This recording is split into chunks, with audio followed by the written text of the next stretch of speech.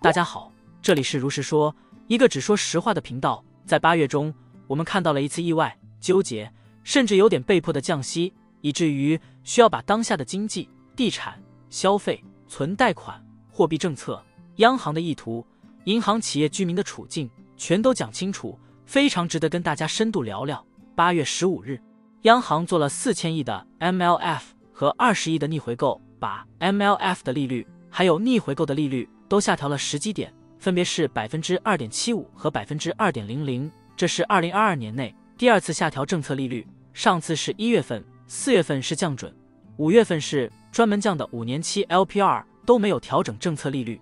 按惯例，还是要跟大家说这些词都是什么意思。央行是货币的掌控者，想给企业和个人印钱发钱是需要通过银行手中的，可不是随随便便就能给的。这个时候就用到了各种工具。最重要的两个，一个是逆回购，时间短，期限一般是七天、十四天。央行向银行买入债券，一手交钱，一手交货，到期后再卖给银行，金额越大，短期投放出去的钱就越多。一个是 MLF 中期借贷便利，期限是三个月、六个月和一年，以招投标的方式，银行给央行提供债券质押品，央行再把钱贷给银行。那很明显，一个是购，另一个是贷。一个是短期，一个是中期，作用其实都一样，都是央行通过量和价，也就是金额和利率来控制货币发行的节奏。这些钱不管买卖还是借贷，到银行手里之后怎么办？不同银行手里钱多钱少也是不同的，银行们也会在同行之间进行短期的拆借，央行给的钱足够便宜，那银行之间借的钱也会便宜，这就又形成了市场利率，最终。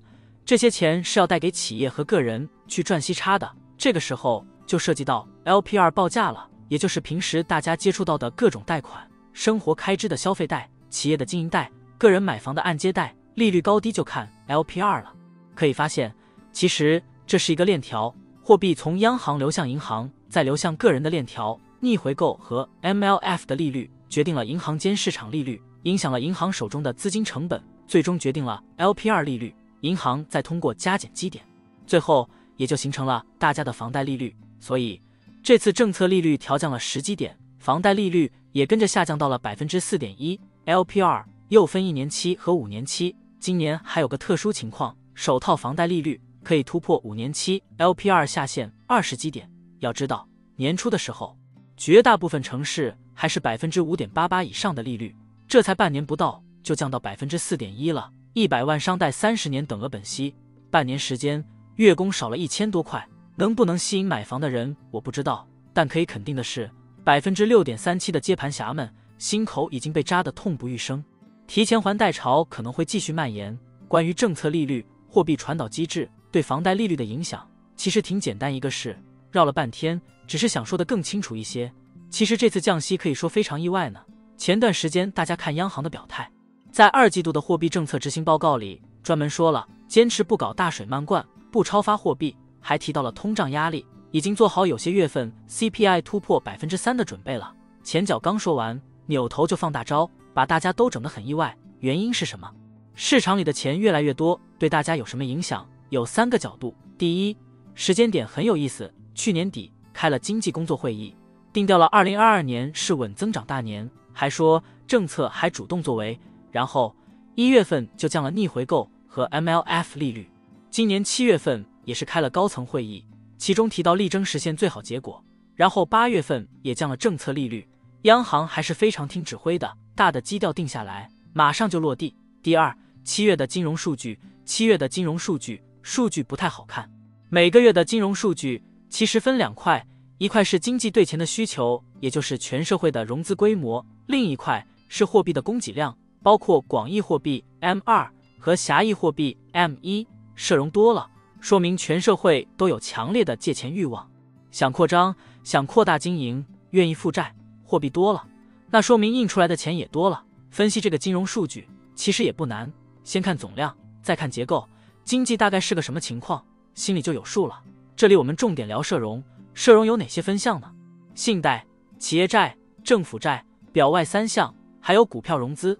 这几项基本把这个社会上全部的借钱渠道都包括了。大家看，有贷款，有债券，有公司上市的融资，有地方政府发债的融资，还有信托，还没贴现的银行汇票之类杂七杂八的钱。七月新增社融七千五百六十一亿，同比减少了三千一百九十一亿；信贷新增四千零八十八亿，少了四千三百零三亿；企业债券只增加了七百三十四亿，少了两千三百五十七亿。这说明什么？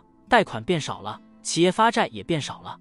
为什么贷款减少这么多？我们继续看信贷的分项：企业、居民、票据、非银。居民短贷少了三百五十四亿，中长贷少了两千四百八十八亿，企业短贷少了九百六十九亿，中长贷少了一千四百七十八亿。答案出来了，愿意贷款的企业和居民少了四千多个亿，这是大头。更奇怪的还在后面，M 二余额达到了二百五十七点八万亿，同比增长百分之十二；M 一余额六十六点一八万亿。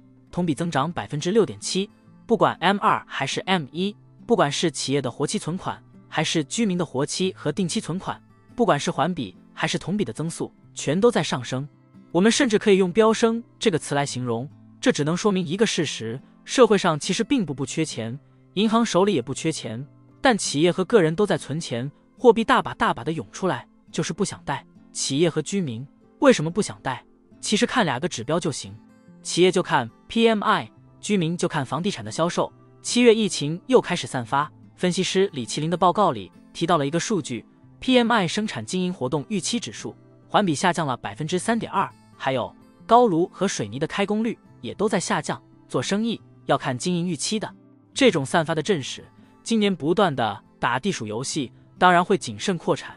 地产就不用说了，现在市面上百分之九十都是期房。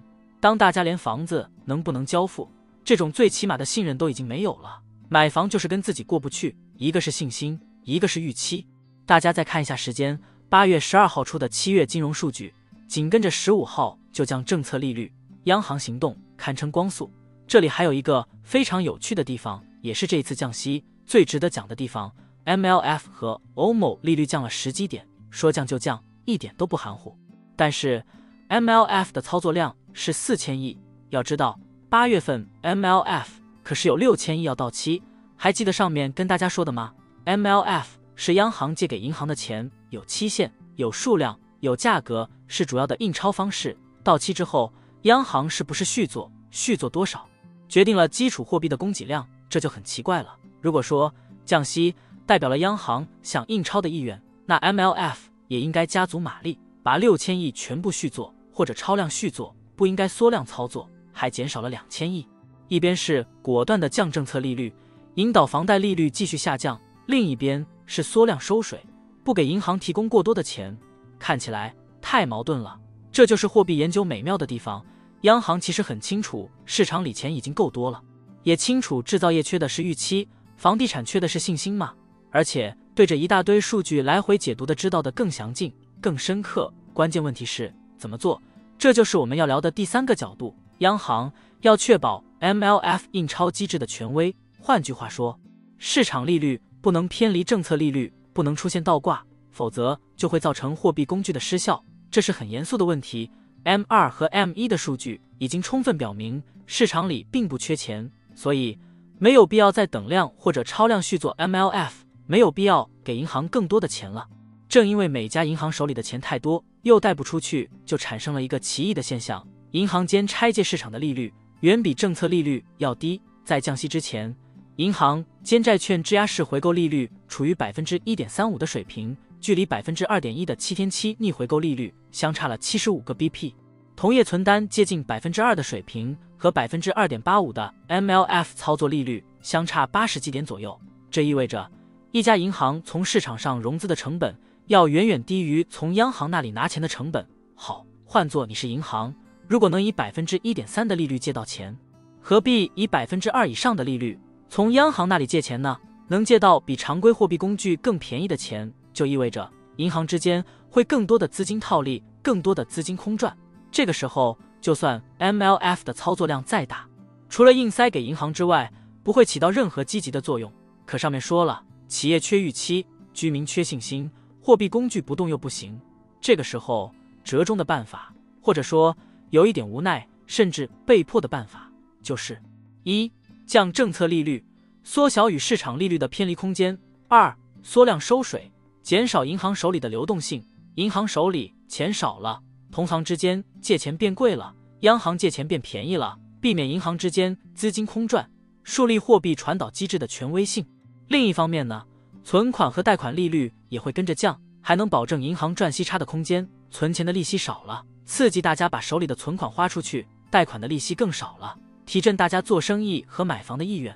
当然，货币工具毕竟不是万能的，货币政策已经做了该做的事情，剩下的是什么？是给依旧存活的房企更多的融资，更大规模的资产管理机构和纾困基金入场，让更多的期房复工交付，更低的房贷利率，是大货车更顺畅的穿梭在高速公路，更多的影院、酒店、商场。名山大川人头攒动，是更多的水泥、沥青、挖掘机生产线开工，更多的工厂机器轰鸣。但是理想与现实总有一段差距，中国的经济下行还有持续好一阵子。以上就是本期节目的全部内容。如果有说的不全面的地方，麻烦大家留言做个补充。欢迎大家在影片下方讨论，留下您的宝贵意见。